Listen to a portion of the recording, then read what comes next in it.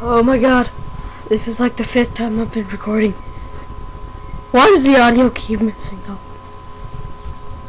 No!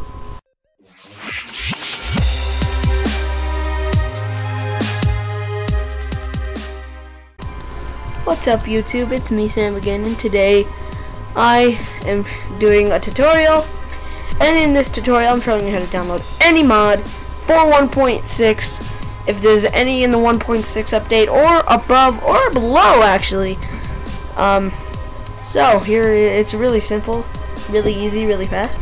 So what you want to do is you want to download the mod and then you want to download this called Magic Launcher 1. Point, or just Magic Launcher whatever version.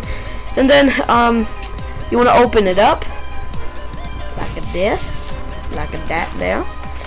Um, I'm sorry that I have an expired valuation, so it may be laggy. I don't know. Don't ask. So then you want to click Setup. And it's going a while. Ah! And as you can see, I have three Optifines here because of the other tutorials. Um, I'm using Optifine as a example, not as an only mod thing here. You want to click Add.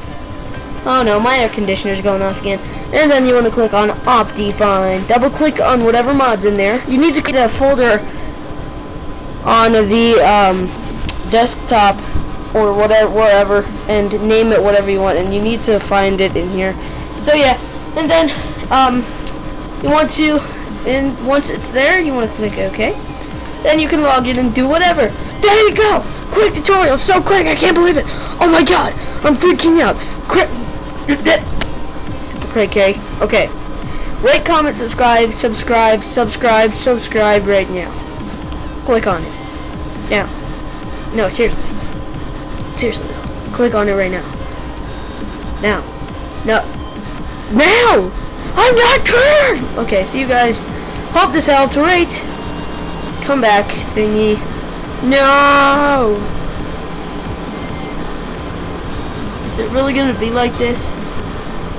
I can minimize that. Come up!